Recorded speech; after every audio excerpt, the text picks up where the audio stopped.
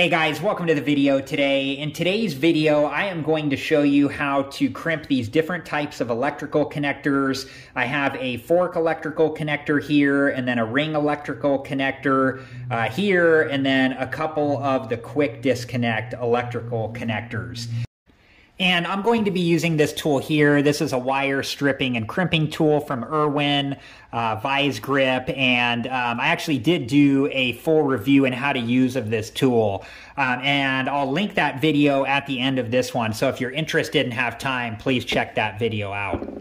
But before we begin, whenever you're working with tools, make sure that you're always wearing the proper safety equipment. For this demonstration, I have on a pair of nitrile gloves and safety goggles, and make sure that you take all safety precautions.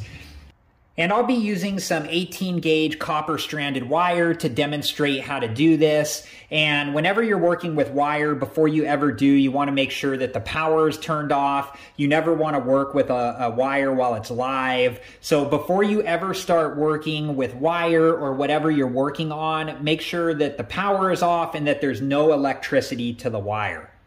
Okay, so um, with this wire here and uh, the wire stripping tool here, so this is 18 gauge. Um, and if I put it in the 18 gauge, we only need to take off about a quarter inch uh, of insulation. And um, when you put it in the wire stripping tool, you just hold the handles together and then you just pull the wire away from the wire stripping tool. Now, sometimes with stranded wire, and here's an example. You can see a couple of the copper strands in there, and that's not acceptable. So we do need to redo the work.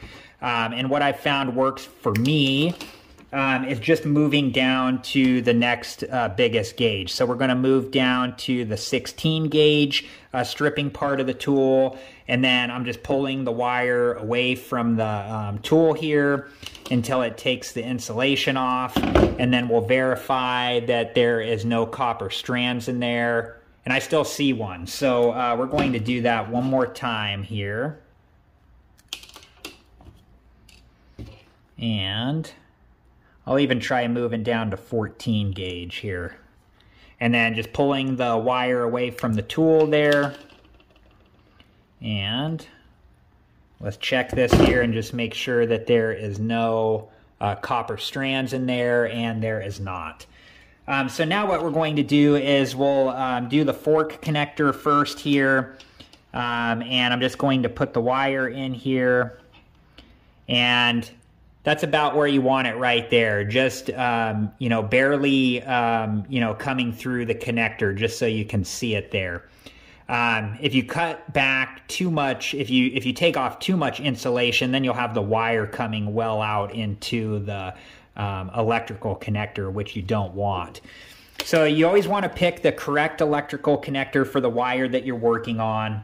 And this electrical connector here works between uh, 18 and 22 gauge wire, AWG. Um, and we can see on the crimping tool, there's a spot here for 18 to 22 uh, gauge wire. And a lot of the times it's color coded, like we can see red and red here. But that's not always the case, so just be aware of that. Okay, so now I'm going to put the wire into the electrical connector um, and we are going to uh, crimp it. Um, but before we do, uh, we want to crimp in between where the flared part of the electrical connector ends and then the end of the red part of the electrical connector. So in between those two points. And let me show you where that is. So right in here like so. And right now I'm just gently holding down on the handles to keep the electrical connector in place. Um, and then once we're ready, like I have that where I want it to be and I have the wire in there, um, then just squeeze down on the handles until it crimps the electrical connector down on the wire like so. And then you can just perform a test to make sure that the wire is in there securely um, and doesn't pull away from the electrical connector. Okay, so now we'll move on to the next one. Um, and I'm just going to use the um, 14 gauge part of the stripping tool because that seems to be working without taking off any of the uh, copper strands of wire. And let's take a look here. Uh, there's one strand in there. So, um, you know, and this is not the highest quality wire. Um, let's try again here. Okay.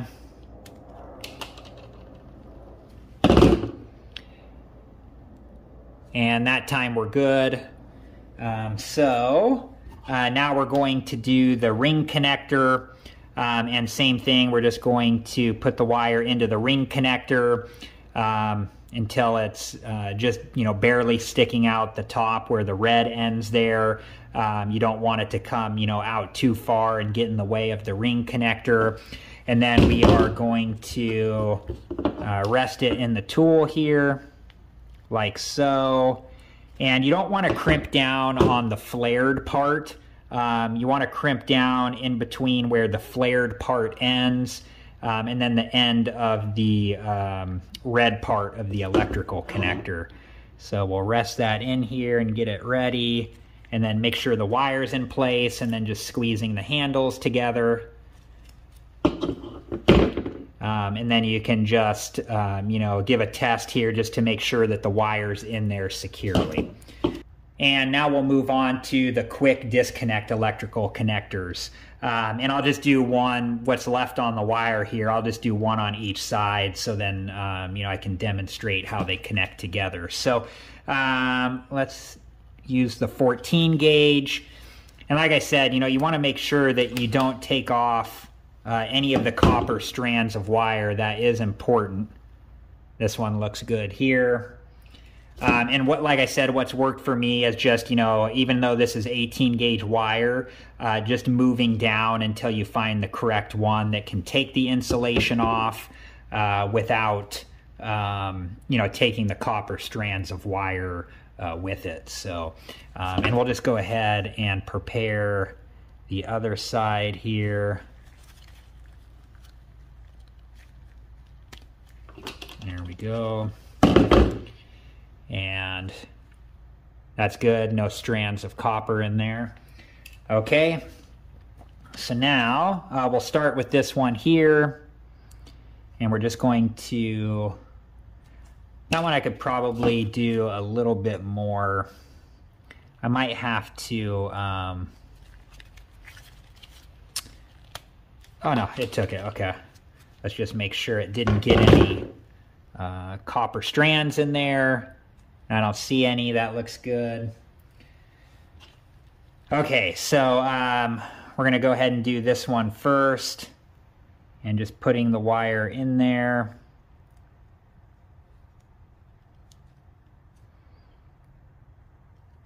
Like so. And then same thing here. We're just going to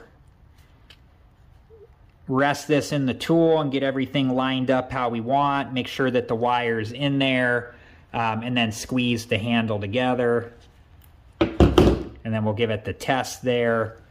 Um, and then we'll do the same thing on the other connector here. And we'll get it in the tool and lined up. Make sure our wire's in there and then just squeeze the handles together like so.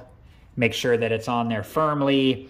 Um, and then with these style of connectors, you know, they're just able to um, connect and then disconnect as well. So, all right, guys. Well, that was it for this video, and I hope it's been helpful. And um, you know, my advice, what I would do um, is practice makes perfect. So get like a scrap piece of copper stranded wire, like this one here, um, and practice a few times before you do it on your final project. Um, that way, you just get a feeling for whatever wire crimping tool that you're using, and the electrical connectors that you're using, and the wire that you're using.